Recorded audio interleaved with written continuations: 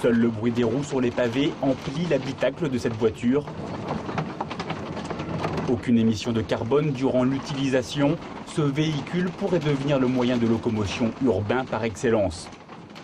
Ce modèle est donc un véhicule 100% électrique qui euh, est un modèle qui a été fait à l'origine pour euh, participer à un rallye à, Monaco euh, en, mars dernier et qui est commercialisé sous une forme bien évidemment plus citadine avec quatre places assises.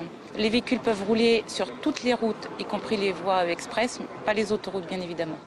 La Simplicity Sun est aussi un moyen de faire des économies.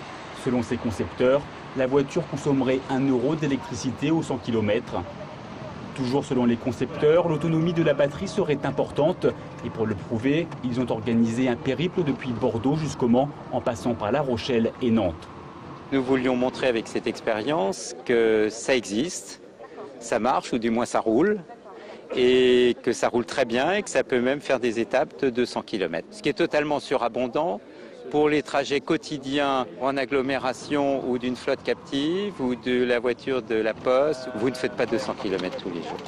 Si l'argument tient la route, convaincra-t-il pour autant les automobilistes? Yves Courage, qui est devenu l'un des porte-drapeaux du véhicule électrique, en est persuadé, mais il faudra du temps. Aujourd'hui, vous ne pouvez pas concevoir rouler dans une voiture qui n'aurait pas tout le confort du thermique. Mais il faut aussi euh, intégrer que le thermique a un siècle de, développement et que nous, on a quelques mois de, développement sur, ce sujet. 1500 petites sœurs de cette voiture devraient voir le jour d'ici un an. À noter également que les batteries seront produites en Sarthe. L'entreprise qui les fabrique s'installera au Mans d'ici quelques mois.